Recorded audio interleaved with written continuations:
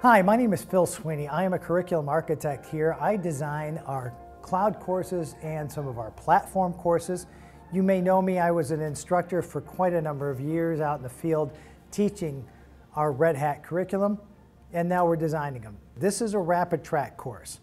Therefore, you need to come into this course with field experience. And the idea is we expect somebody taking this course to have between one and three years of solid Red Hat Enterprise Linux or comparable Linux experience.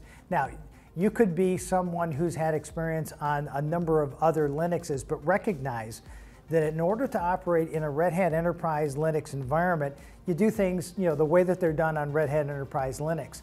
So coming from other Linuxes and Unixes gives you the computer science knowledge that is helpful to understand what's here, but what you really need is the hands-on practice doing it the Red Hat Enterprise Linux way. So this course is designed to cover the whole gamut of system administration and, and covers just about every topic that is typical daily system administration task.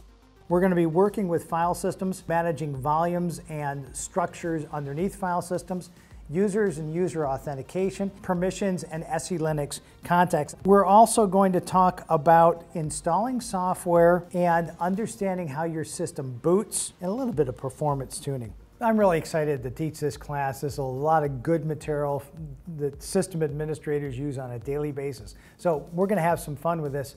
I look forward to seeing you in the introduction chapter.